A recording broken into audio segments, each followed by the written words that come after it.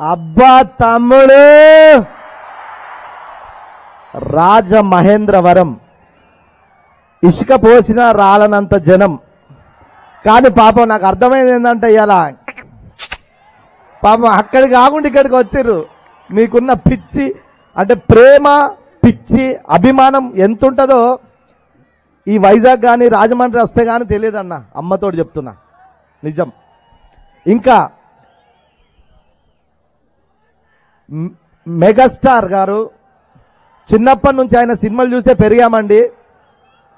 ఆయన స్కూల్ అంటే వాళ్ళ ఫ్యామిలీ కానీ వాళ్ళ స్కూల్ కానీ ఒక హీరో వస్తే ఎట్లుంటుందంటే ఒక్క హాఫ్ ఆగిపోయి కూర్చుంటే దీని అమ్మ బా అన్నట్టే ఉంటుందండి.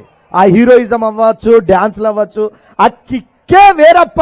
నీ అమ్మ చెట్టు దింపుకొని సినిమాలో విజిల్ కొడితే హీరో ఇంట్రడక్షన్ అవ్వచ్చు పాటలు అవ్వచ్చు సాంగ్స్ అవ్వచ్చు ఆ కిక్కే వేరప్ప.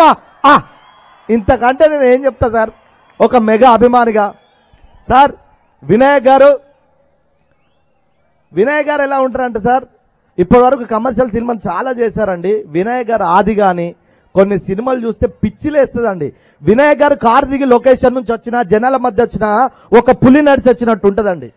అంటే ఒక దర్శకుడికి అంత పీక్స్ అంత రెస్పెక్ట్ అంత గౌరవం. ఈ ఊరు నుంచి వచ్చాడు. ఎందుకంటే ఒకసారి వినాయక్ గారికి ఊరు వెళ్ళానండి నేను అక్కడికి. అప్పుడు తెలిసింది సార్ ఇక్కడ ఆయన ఎంత గొప్ప వ్యక్తో ఎంత మనిషో ఆయన కోసము ఎంత ప్రాణం ఇచ్చేటోళ్ళు ఉన్నారు సార్ ఈ ఊర్లో. అలాంటి వినయ్ గారితో వర్క్ చేయడం చాలా ఆనందంగా ఉంది సార్. సార్ మీకు పాదాభివందనం sir. Thank you very much అట్లాగే మా సి కళ్యాణ్ గారు సార్ అంతకుముందు జై సినిమాలో మిస్ అయ్యాను సార్. నాకు డేట్లు వచ్చి కూడా అనుకోని వారి కారణాల్లో మిస్ అయ్యాను.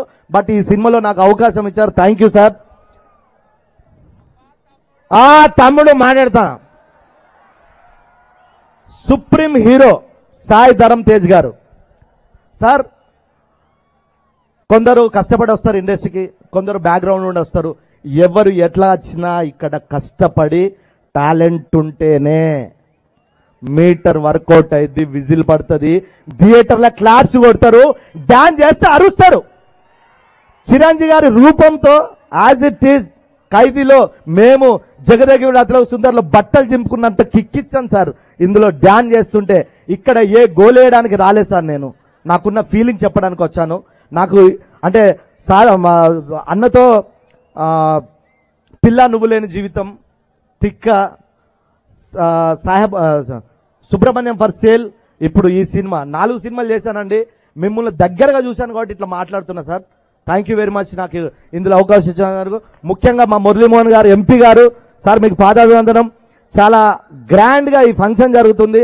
మా పృథ్వీ గారు సప్తగిరి గారు ఇక్కడ మా రైటర్లు ఉన్నారు. వీళ్ళందరి ఆధ్వర్యంలో ఈ ఫంక్షన్కు నన్ను పిలిచినందుకు చాలా ఆనందంగా సంతోషంగా ఫీల్ అవుతున్నాను. తొమ్మిది తారీఖు. మర్చిపోవద్దు.